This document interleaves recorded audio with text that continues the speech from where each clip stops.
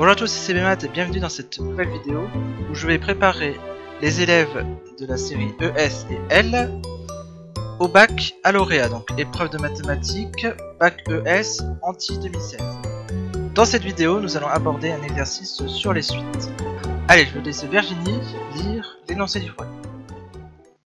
Afin de lutter contre la pollution de l'air, un département a contraint dès l'année 2013 certaines entreprises à diminuer chaque année, la quantité de produits polluants qu'elles rejettent dans l'air. Ces entreprises ont rejeté 410 tonnes de ces polluants en 2013 et 332 tonnes en 2015. On considère que le taux de diminution annuelle de la masse de polluants rejetés est constant. 1. Justifier que l'on peut considérer que l'évolution d'une année sur l'autre correspond à une diminution de 10%.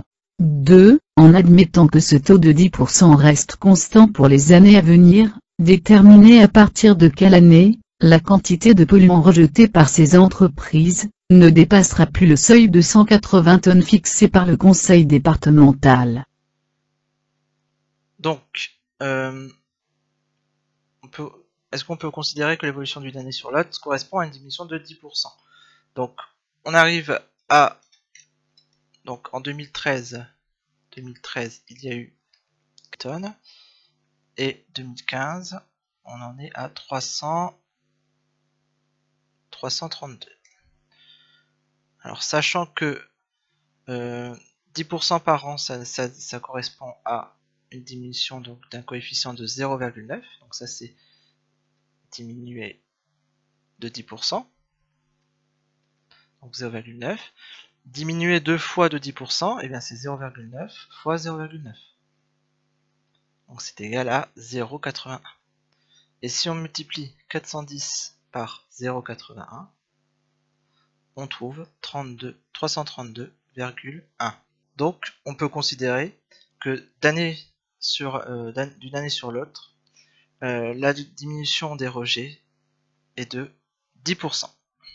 Alors en admettant que ce taux euh, de 10% reste constant pour les années à venir, on va déterminer à quelle année euh, la, quantité de polluants atteint le seuil de 180 tonnes fixé par le conseil départemental. Donc on va poser U0 est égal à donc 332. Donc ça c'est ça correspond au rejet euh, au total des rejets de 2015 et UN plus 1 est égal à 0,9 UN. UN plus 1 est égal à 0,9 UN.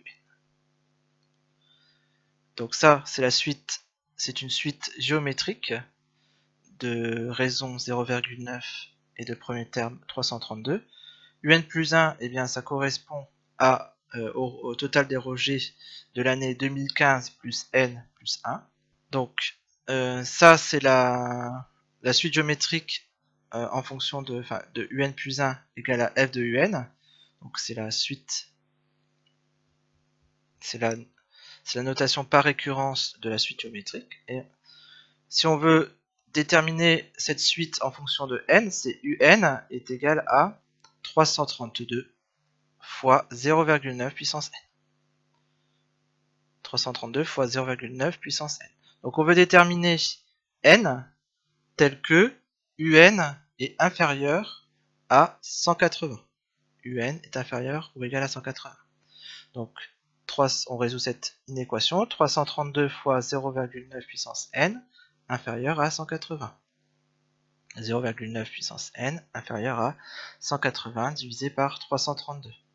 Donc, c'est égal donc 0,9 puissance n inférieur ou égal à 0,54. Alors ici, on va utiliser euh, la notation, euh, les, fonctions logarithme euh, pour, déterminer n. Donc la fonction logarithme, vous allez la voir un peu plus tard dans l'année. 0,9 puissance n, c'est exponentielle de 0. 0,9 puissance n, c'est exponentielle de n ln de 0,9. Donc ici, on va pouvoir utiliser donc logarithme, donc ln de 0,9 puissance n, et bien c'est n ln de 0,9. Donc n ln de 0,9 inférieur ou égal à ln de 0,54.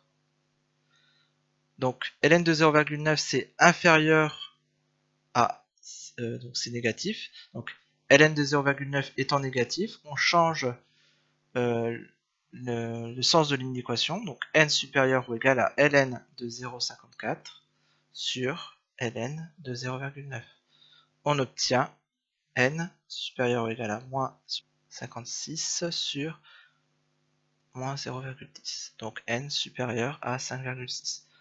On prend l'entier supérieur, donc on prend l'entier supérieur, ce qui donne, donc au bout, au bout